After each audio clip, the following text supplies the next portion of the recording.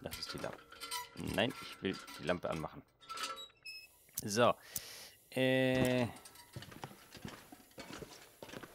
Draußen ist ja äh, lustigerweise heller. Ich hoffe mal, der Wolf ist jetzt weg. Eine Stunde geschlafen haben wir. War hier eigentlich noch was? Nö. Okay. So, Lagerbüro verlassen. Ich hoffe, der wartet da jetzt nicht auf uns. Geil. Okay, dann machen wir Plan C. Wir laufen einfach bis ganz ans andere Ende. Und laufen erst dann in den Wald rein, am, am Weg entlang. Ich bin zu früh links abgebogen, glaube ich. Ähm, also hier abgebogen, da in den, na, in das Wäldchen rein. Wir laufen einfach weiter hier entlang. Das sollte hoffentlich besser funktionieren. Dass wir keinen Wolf über den Weg laufen. Willst du mich trollen? Blödes Mistvieh.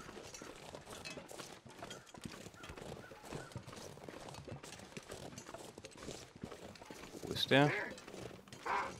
Ach komm, leck mich.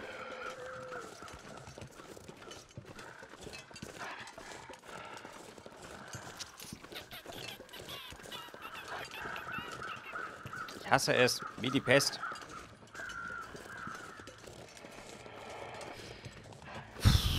Gibt es noch einen anderen Weg zur Jägerhütte? Ich glaube, da oben rum könnte ich noch laufen, ne?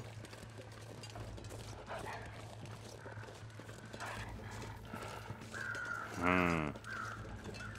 Vor allem, es wird halt langsam dunkel.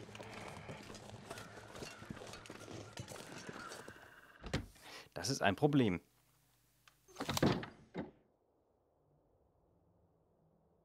Hm, was machen jetzt da? Ähm. Wie schaut's aus? Ich könnte Kondensmilch hier noch nehmen. Äh. Übrigens schön. Gesüßte, dickflüssige Milch in Dosen. Hält ewig. Hat aber trotzdem 74% noch Haltbarkeit. Aha. Ich futter jetzt einfach mal. Einfach nur, damit wir das noch im Magen haben. So. Dann verhungern wir schon mal erstmal nicht. So, das Problem ist jetzt aber...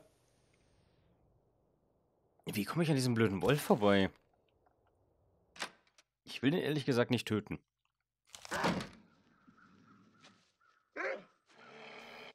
Toll. Der hat die ganze Zeit da gewartet einfach. Äh, ja. Schön. Nehmen wir Licht daneben, weil sonst finde ich meinen Weg hier nicht raus. So.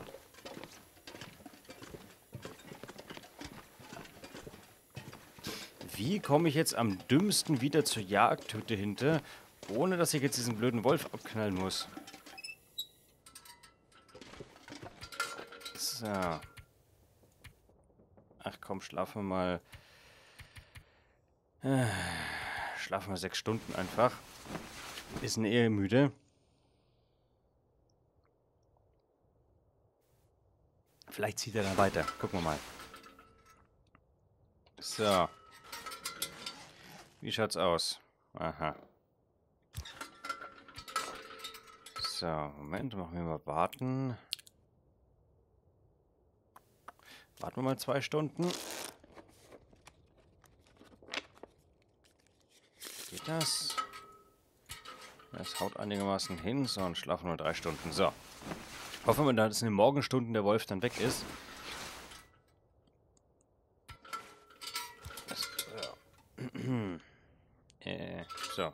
anmachen, sonst finde ich den Weg hier aus nicht mehr. Es ist sehr finster. Also, jetzt haben wir wirklich sehr viel Zeit verbraten. Ich hoffe mal sehr, dass der Wolf jetzt ganz, ganz, ganz, ganz, ganz, ganz, ganz weit weg ist und es nicht einfach sein, sein Bewegungsschema ist. So. Zack.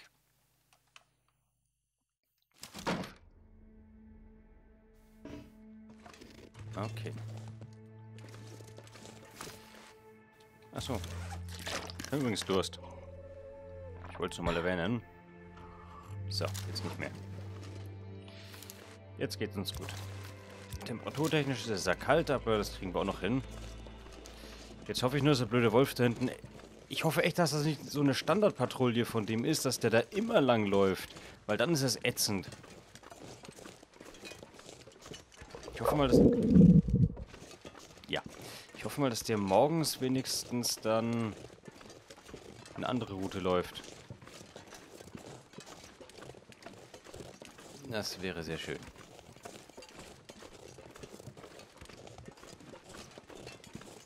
Vielleicht mache ich auch zu viel Krach, ich weiß es nicht.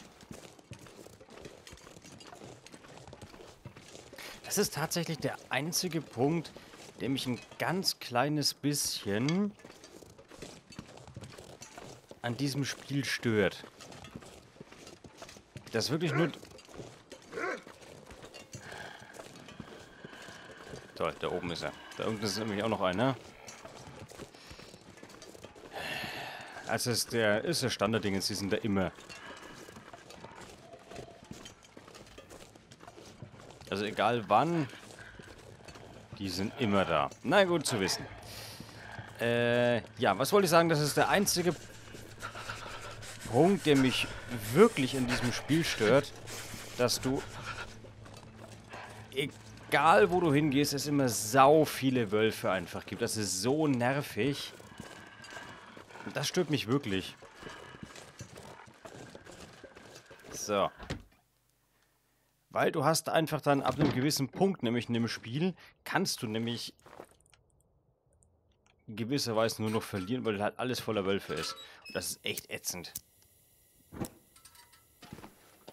Also, weil, wie man sieht, die haben halt auch nicht wirklich jetzt, dass man sagt, die streifen nur durch die Karte und sind mal da oder mal da. Nö, sondern die, die bleiben halt stundenlang da in diesem Gebiet einfach. So. Halt. Löschen bitte. Hallo, ist das Bett? Da. Ähm.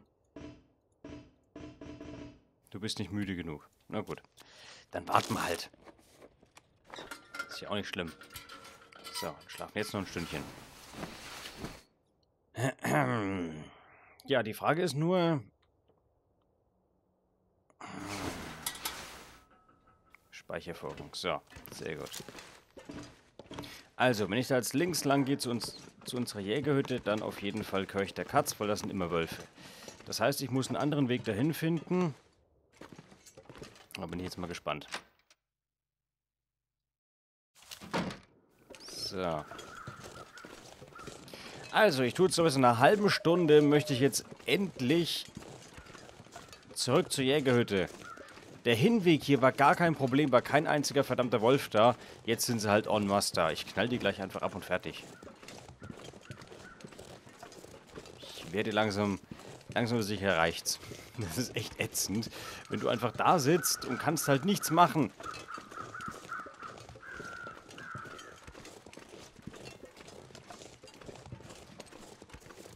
So. Ich weiß nicht, ob es da einen besseren Weg noch gibt. Vielleicht muss er da hinten lang. Das ist halt so geil. Die schleichen da stundenlang. Oder die schleichen da halt permanent rum. Und das ist so ätzend einfach. Weil es ist halt... Nee. Das ist halt einfach nervig.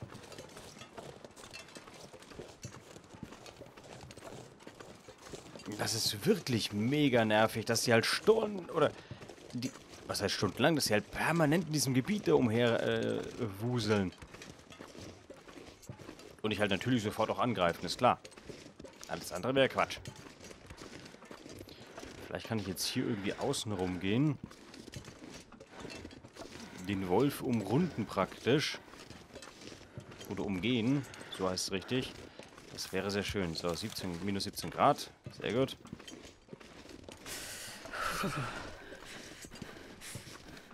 Ich meine, die Wölfe abknallen ist halt auch keine Lösung, weil du hast halt nicht unendlich Schuss. Und selbst mit Pfeil und Bogen, den ich schon mal hatte, ist das total sinnlos, Wölfe äh, damit anzugreifen. Also hat bei mir zumindest nie geklappt. So, jetzt muss ich kurz überlegen. Äh, die Hütte müsste da hinten irgendwo sein. So mit 50 Kilo. Da ist der nächste Wolf. Ich krieg hier ein zu viel, echt.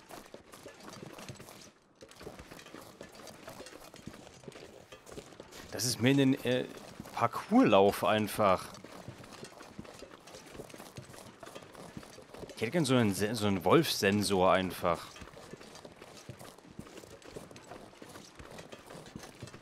So, jetzt bin ich am gucken. Ich bin jetzt echt ein bisschen am gucken, dass ich halt die Wölfe alle umrunde.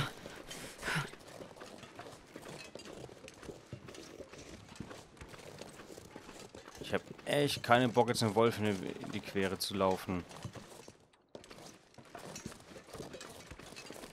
Ich weiß nicht, ob das eine, ein besserer Weg ist. Da ist ein Reh zumindest schon mal. Das ist schon mal gut.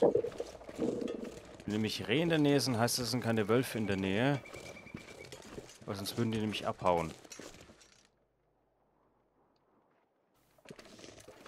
Das Hasen? Ja, das sind Hasen, ne? Ja, das sind Hasen. Okay. So. Need to find someplace to escape this cold. Ja, ja, ja. So, jetzt ist die Frage. Die Hütte müsste jetzt dann... Äh, ich glaube links sein, oder?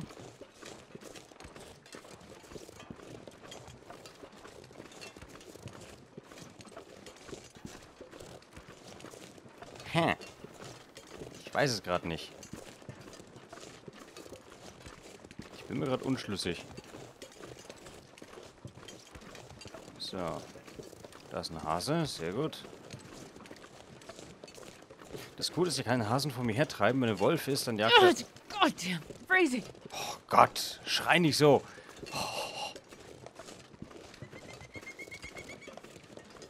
Ich glaube, ich habe mich verlaufen. Die Hütte war, glaube ich, da hinten. Ich laufe gerade in die falsche Richtung, glaube ich.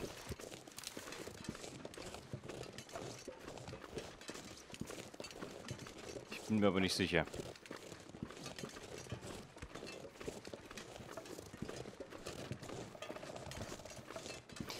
La la la la la la. Da ist eine Hütte. Interessant. Was man nicht alles so durch Zufall findet, wenn man sich verlaufen hat. Das ist schön. Neuer Ort entdeckt. Totes Holz. Aha. Ja, okay.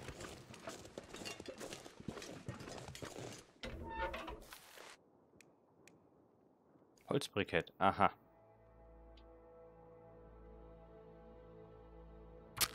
Machen wir doch mal ein Feuer. Ich hoffe, das funktioniert. Dann können wir wenigstens ein paar uns ein bisschen aufwärmen, noch bevor wir weitergehen. Das Problem ist jetzt, ich bin... Ich versuche gerade so ein bisschen das geografisch einzuordnen, wo wir gerade sind. Wenn ich den Weg weitergelaufen wäre bei den Bahngleisen, hätte ich rechts die Wand lang gemusst, dann wäre ich bei der Hütte gewesen. Jetzt bin ich Kerzengard rüber gelaufen, dann nach links. Oh, das hat funktioniert. Äh, Altholz. Nein, Buch, Stock. So. Fackel kaputt. Okay. Fackel rein. So. Äh, ein Altholzteam, das können wir reinschmeißen. So, wird ein bisschen wärmer hier gerade. Können wir zufällig... Ich könnte einen Kräutertee machen. Geheilt oder Kühlungsrisiko, finde ich gut. So, dann trinken wir mal einen heißen Kräutertee. Zack, dann wird uns auch warm. Und wir kriegen ein bisschen Nahrung noch dazu. So. Wie schaut's aus? Na, langsam geht's nach oben, finde ich gut. Verbessertes Ausruhen, Tasse Kräutertee. Temperatur steigt, heißes Essen, Getränk. Dadurch kannst du dich besser ausruhen. Dein Zustand verbessert sich pro ausgeruhte Stunde stärker. Das warme Essen geht direkt in den Innerstes und wärmt dich von dort aus auf. Schützt dich vor der Kälte, solange es aktiv ist. Okay. Na gut. Ähm. Machen wir mal folgendes. Wasser kochen. Dauert eh 20 Minuten. Dann machen wir das mal eben. Dann haben wir das auch gekocht. Und wir haben alles effektiv genutzt und, es ist warm. So. Also, jetzt mal ganz kurz überlegen. Wir sind nach rechts. Wir sind geradeaus weiter, dann links querfeld ein. Jetzt bin ich nach links abgedriftet. Das heißt, wir müssten eigentlich, wenn ich jetzt hier lang latsche, müsste ich zur Jägerhütte kommen. Meine ich zumindest. Ob das jetzt so funktioniert, kann ich nicht wirklich sagen. Aber es ist eine, ein Versuch wert. So, die Pilze nehme ich auf jeden Fall noch mit. Wir äh, schleppen mich noch nicht genug mit uns rum. Hallo? Einfach einmal einsammeln, bitte. So. Zack. Okay.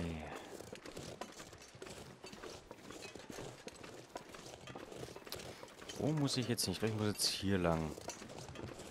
Als wenn ich jetzt gleich irgendwo rauskomme, dann wisst ihr Bescheid. wenn ich jetzt gleich irgendwo am Arsch der Welt bin, dann weiß ich, okay, ich bin zwar irgendwo, aber ich habe keine Ahnung, wo die Jägerhütte ist. Wahrscheinlichkeit ist hoch, dass ich mich verlaufe. Aber abgesehen von Hunger geht es uns eigentlich ganz gut momentan. Was ist denn das da oben?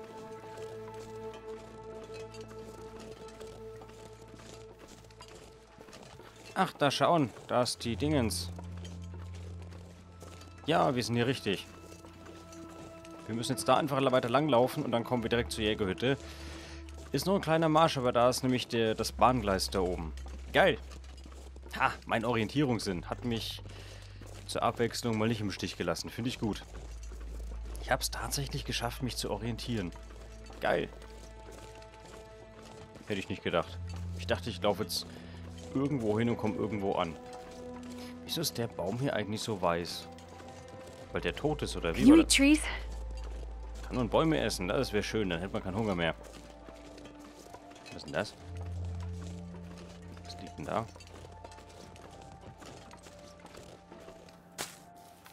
Birkenrinde. Diese leichte Brennbarrinde kann als Zunder benutzt werden. Kann ich die hier abschneiden zufällig? Nö. Schade. Okay, aber wir haben Birkenrinde gefunden. Finde ich gut. Habe ich, glaube ich, noch nie gekriegt. Ich habe Wolf gehört, glaube ich. Bin mir aber nicht sicher. Lalalala. Oh, ist auch eine Birkenrinde. So, ganz wichtig, ich sammle alles ein, weil wir tragen noch nicht genug. Ich finde, na gut, 44 Kilo momentan. Das ist ja... Klar, schleppt jeder von uns einfach mal so hier im, äh, durch den Wald dann durch. Bei der Kälte. Und vor allem auf Schnee auch noch. Macht ja keiner. Wobei ich mich echt frage, du schleppst so viel mit rum, musst da so rumstapfen. Der muss doch unglaublich heiß sein. Also momentan ist die Temperatur ja relativ weit unten, weil sie friert. Aber die ist doch körperlich so aktiv gerade. Da musst du doch eigentlich schwitzen, oder nicht? Right, I can't feel my feet. Das kann ich, bin ich mir nicht sicher. Ich würde, glaube ich, sterben. Aber einfach wegen, wegen Wärme. Weil ich würde kaputt gehen, ich würde kaputt schwitzen. Auch wenn das kein richtiges Wort ist. Aber das ist so meine Einschätzung. Weiß ich nicht. Könnt ihr mal in die Kommentare auf YouTube schreiben oder hier in den Chat auf Twitch. Ob da jemand Erfahrungswerte hat. Ich auf jeden Fall nicht. Aber ich stelle mir schon vor, dass wenn du halt, keine Ahnung, wenn du so, also ich kenne es vom Skifahren, kenne ich es halt, weißt du, da kann es halt arschkalt oben sein. Wenn du dann aber die Bewegung hast und fährst und so ganz und dich wirklich bewegst und sportlich dann aktiv bist, dann ist dir halt so schnell so warm, dass äh, du halt einfach alles sofort ausziehen willst. Alle Klamotten, einfach alles weg. Hauptsache, ähm, dass ein bisschen kühle Luft an dich rankommt. So kenne ich das zumindest von mir vom Skifahren. Wie es jetzt hier ist, wenn du halt wirklich bloß mit dem Rucksack umherläufst, das kann ich nicht sagen. Aber ich stelle mir das Prinzip halt ähnlich vor. I'm so cold. I just wanna lie down for a bit. Ja, wir sind doch gleich da. Was ist das hier eigentlich? Ach ja, ist unser Lagerfeuer. Dachte ich mir fast. Ist irgendwas Neues, Cooles. Aber leider nicht. So, die Stecken sammeln wir, sammeln wir alle noch ein. Den zerlege ich nicht. Nein, ganz so verrückt bin ich dann doch nicht. Ich lasse jetzt erstmal in Ruhe hier ausruhen, vor allem das ganze Zeug abladen. Ich hoffe, wir haben genügend Lagerräumlichkeiten in unserer tollen Hütte hier. Ich glaube, wir haben Hasen gefangen. Zack. Stöcke sammle ich natürlich alle ein. Da fällt mir gerade nicht, ich habe nicht nachgeguckt, ob das vor der Hütte Steine waren oder ob das ein Mensch war. Vor dem komischen Büro. Habe ich nicht nachgeschaut. So, und da dürfte ein Hase drin sein in unserer Falle.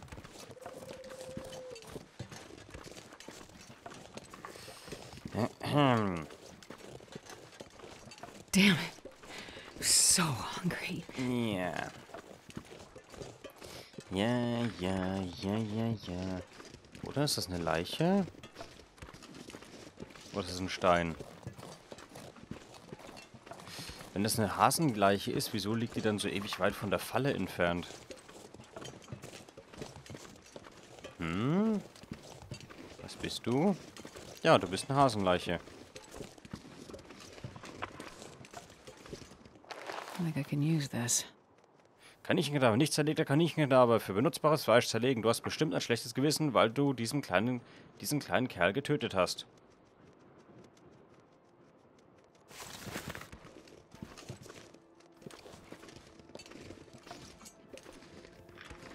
Schlinge. Nehmen. So, kann ich die wieder aufbauen. Oh nein, jetzt habe ich den Hasen hier drin. Platzieren. Das ist voll fies, das Spiel. Jetzt kann man die Hasenkadaver einsammeln. Das ist voll fies. Ich habe ihn aber nicht per Hand getötet. Das habe ich gelassen.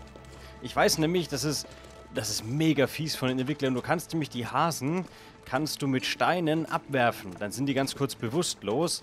Ähm, dann kannst du die greifen und kannst entscheiden, ob du den Hasen töten willst oder ob du ihn... So, das ziehen wir kurz daher.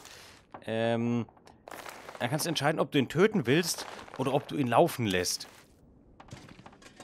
So, ich habe ihn nicht getötet mit der Hand. Ich habe ihn laufen lassen natürlich. Und das Fiese ist, jetzt kommt das Spiel hierher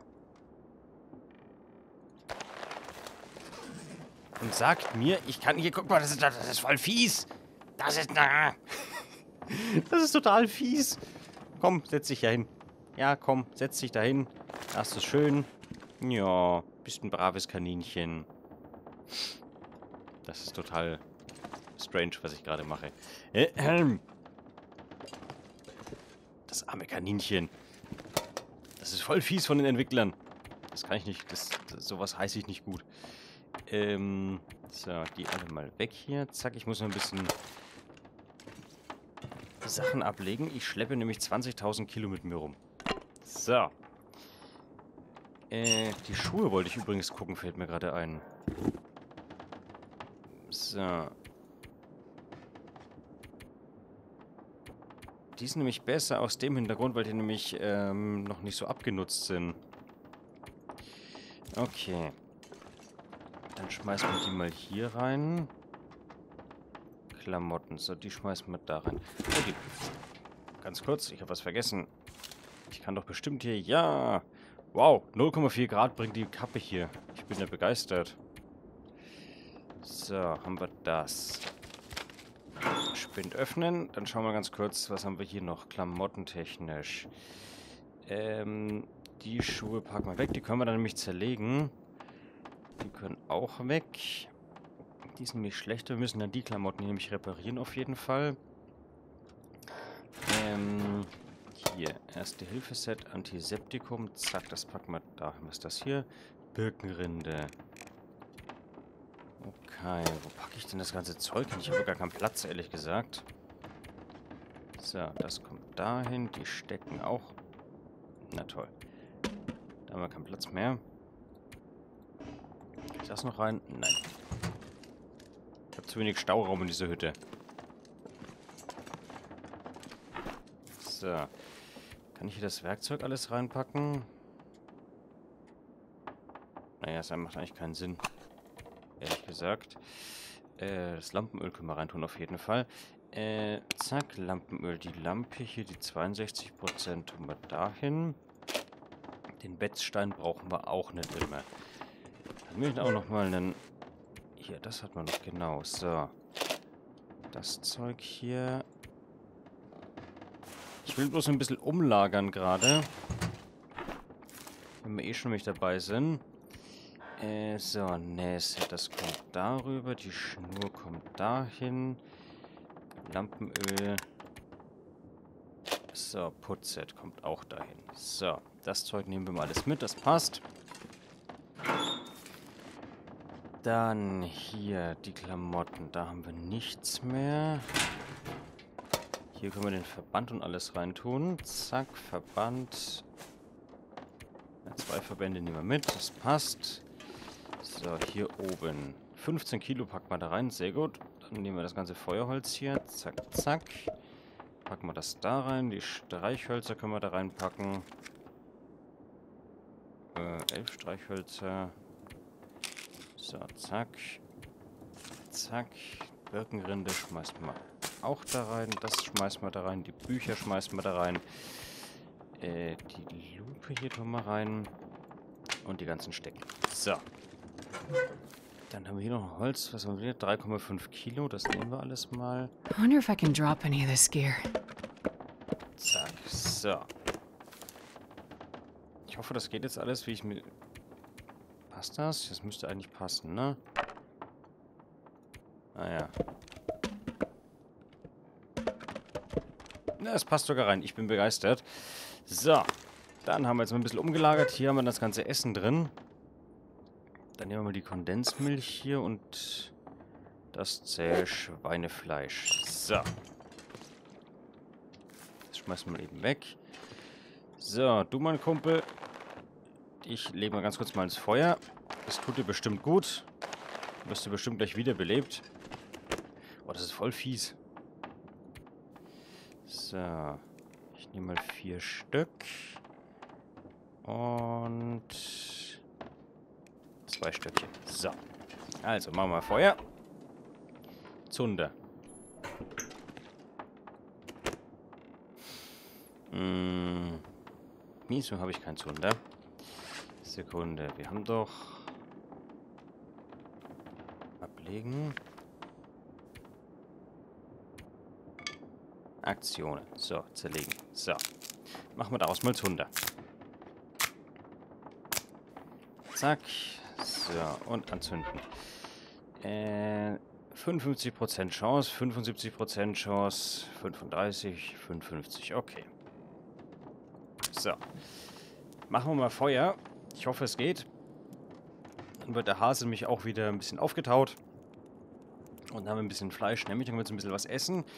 Dann kriegen wir Hasenfell draus und dann hoffe ich mal, dass wir, wenn wir genügend Hasen jetzt töten, dass wir genügend Gedärme und alles dann kriegen. Ich hoffe, das ist noch in Ordnung, der Kadaver dann. Das Coole eigentlich ist, dass dadurch, dass du die Hasen, ne, dass du die halt mitnehmen... Why didn't that work? Ja, weil du so blöd bist, Feuer zu machen. Ähm, das Coole ist, dadurch, dass du die Hasen jetzt nämlich hier einfangen kannst permanent und also, also mitnehmen kannst, musst du die nicht on, little außen fire. zerlegen. Das heißt, du kannst sie einfach mitnehmen, dann machst du die einfach innen drin kaputt. Also zerlegst die einfach, nimmst die Eingeweide raus, was auch immer. Ist eigentlich ein ganz cooles Feature, weil du musst die nicht unbedingt draußen zerlegen. Jetzt so ein Reh zum Beispiel mitnehmen ist halt schon schwieriger, weil das wiegt halt ein paar Kilo mehr. So ein Hase, nimmst du halt einfach hoch. Wobei ich den nicht mit der Hand töten wollen würde. Da hätte ich ehrlich gesagt keine Lust drauf. So, Altholz. Zack, zack. So, ausnehmen in freier Wildbahn. Band 1. Erst könnte ich heizen, will ich aber nicht. Zähes Schweinefleisch mit Bohnen. Gibt's erstmal das. Lecker Schmecker.